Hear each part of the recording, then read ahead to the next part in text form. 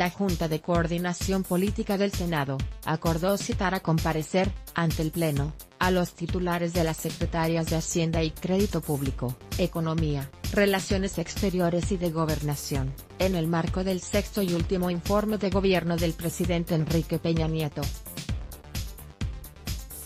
Para el caso de la titular de la Secretaría de Desarrollo Agrario, Territorial y Urbano de México, Sedatu, Rosario Robles Berlanga, se acordó que comparecerá en comisiones.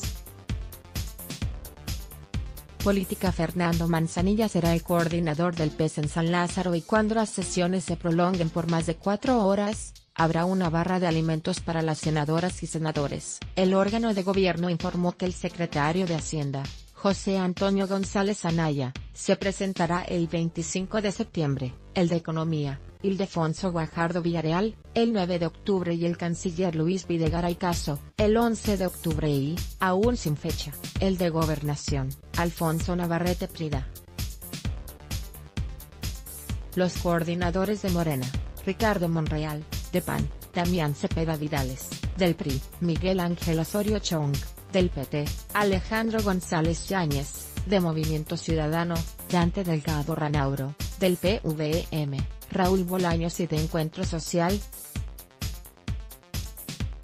Sacil de León Villar, convinieron también citar a reuniones de trabajo, en comisiones, sin fecha definida, a los titulares de la Secretaría de Comunicaciones y Transportes, de Desarrollo Territorial y Urbano y de Desarrollo Social.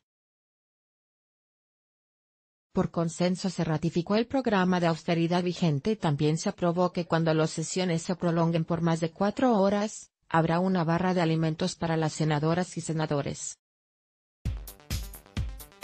Se aprobó por unanimidad un reconocimiento por su 67 aniversario a la Escuela Superior de Economía del Instituto Politécnico Nacional por sus logros